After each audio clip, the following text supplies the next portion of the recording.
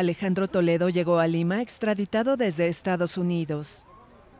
El expresidente peruano llegó a la capital el domingo en un vuelo procedente de la ciudad de Los Ángeles y bajo custodia de agentes de la Interpol. Fue recibido por fiscales y policías en el Aeropuerto Internacional Jorge Chávez. Toledo será procesado por corrupción y lavado de dinero en el marco del megaescándalo de sobornos pagados por la constructora brasileña Odebrecht. Se le acusa de haber recibido millones de dólares a cambio de licitaciones para obras públicas. Los fiscales piden entre 20 años y 6 meses de cárcel. Estamos acá en apoyo al doctor Alejandro Toledo. El presidente Alejandro Toledo es un perseguido político. Sabemos que existen los cuellos blancos y en este momento el Perú está en una dictadura militar.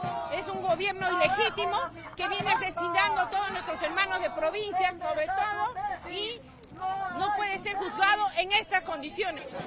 El exmandatario ha negado las acusaciones y presentó varias peticiones para bloquear la extradición que Perú buscaba desde 2018 y que Estados Unidos autorizó en febrero.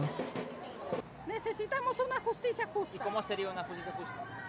Que lo investiguen tal como es, no en base de mentiras y solamente por dos colaboradores eficaces.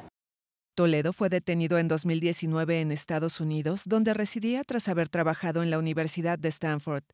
Inicialmente fue encarcelado, pero en 2020 fue puesto bajo arresto domiciliario con la obligación de usar una tobillera electrónica.